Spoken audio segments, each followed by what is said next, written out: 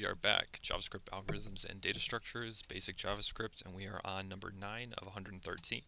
We are going to explore the difference between var and let keywords. So one of the biggest problems when declaring variables with the var keyword is you can easily overwrite variable declarations. Camper, camper, so assigning the same name to two different values, and then they're console logging it. It's going to be overridden, and it's going to be the last value that they assign. So that's what they're saying here. Um, in a small application, you might not run into this problem, but as the code base evolves, basically, it's going to become a, a issue. So the keyword let was introduced in ES6, uh, which is a major update to JavaScript to solve this potential issue.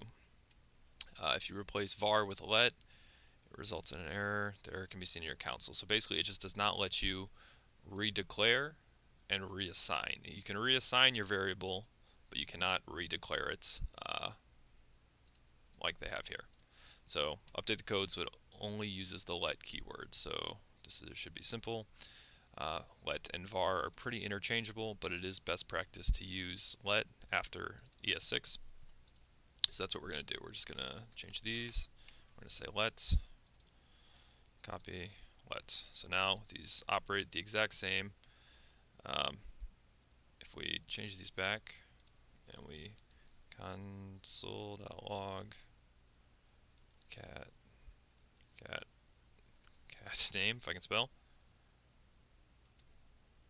Plus. Plus cat sound.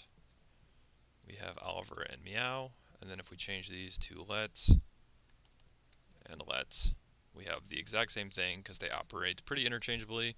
Just can uh, cannot redeclare once you declared, which is why we prefer let.